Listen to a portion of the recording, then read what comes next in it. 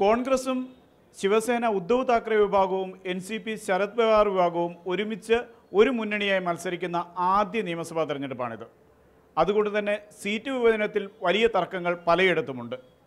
നമ്മളോടൊപ്പം ഇപ്പോഴുള്ളത് Maharashtra P C C general സെക്രട്ടറിയും മലയാളിയുമായ ജോജോ തോമസ് ആണ് സീറ്റ് വിഭജനത്തിൽ വലിയ പ്രശ്നങ്ങളുണ്ട്. നാനാ പട്ടോളയും സഞ്ജയ് റാവത്തും തമ്മിൽ വലിയ തർക്കങ്ങളുണ്ടായി എന്നൊക്കെ മറാത്തി മാധ്യമങ്ങൾ പറയുന്നുണ്ട്. സ്വാഭാവികമായിട്ട് കോൺഗ്രസ് കുറേ വർഷമായിട്ട് മത്സരിച്ചുകൊണ്ടിരുന്ന സ്ഥലങ്ങളിലൊക്കെ തന്നെ കഴിഞ്ഞ തവണ ശിവസേനയുടെ യു ബി ടിയുടെ ആളുകൾ നമ്മുടെ കൂടെയുണ്ട്. അപ്പോൾ അത്തരത്തിലുള്ള ചില വിട്ടുവീഴ്ചകൾ പലതും ചെയ്യുന്നുണ്ട് അത്തരത്തിലുള്ള ധാരണകൾ മിക്കവാറും ഏകദേശം തൊണ്ണൂറ് ശതമാനം സീറ്റുകളിലും ധാരണയായി കഴിഞ്ഞു. ഇപ്പോൾ അടുത്ത വരും ദിവസങ്ങളിൽ ഒന്നോ രണ്ടോ ദിവസത്തിനുള്ളിൽ തന്നെ കാൻഡിഡേറ്റ് പട്ടികകളൊക്കെ പുറത്തു വരും. ചില പ്രശ്നങ്ങൾ ഉള്ളതുകൊണ്ടല്ലേ ഇന്ന് വളരെ വേഗത്തിൽ അടിയന്തരമായി രമേശ് ചെന്നിത്തല ഇവിടെ എത്താനിടയായത്?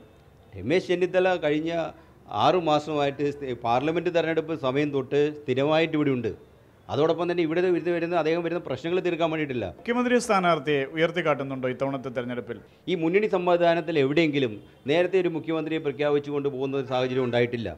കോൺഗ്രസിന് മുഖ്യമന്ത്രി സ്ഥാനം വേണം എൻ സി പിക്ക് വേണം ശിവസേനയ്ക്ക് വേണം എന്നുള്ള തർക്കങ്ങളൊന്നുമില്ല. അത് അവരെ എല്ലാവരും തന്നെ ആദ്യം തന്നെ പറഞ്ഞതാണ് എങ്ങനെയാണ് ഇതിലേക്ക് പോകുന്നു എന്നുള്ള കാര്യം ജനങ്ങളെ സംബന്ധിച്ചറിയാം ഞങ്ങൾക്ക് മുമ്പിൽ ഒറ്റ ഒരു കാര്യം മാത്രമേ ഉള്ളൂ ഈ മഹാരാഷ്ട്രയെ കൊള്ളയടിച്ചുകൊണ്ടിരിക്കുന്ന ഈ സർക്കാരിനെ താഴെയിറക്കുക എന്നുള്ള ഒറ്റ ലക്ഷ്യം കൊണ്ടാണ് നമ്മൾ മുന്നോട്ട് പോയിക്കൊണ്ടിരിക്കുന്നത്. മുംബൈയിൽ നിന്നും ജെയ്സൺ മണിയങ്ങാട് ഏഷ്യാനെറ്റ് ന്യൂസ്.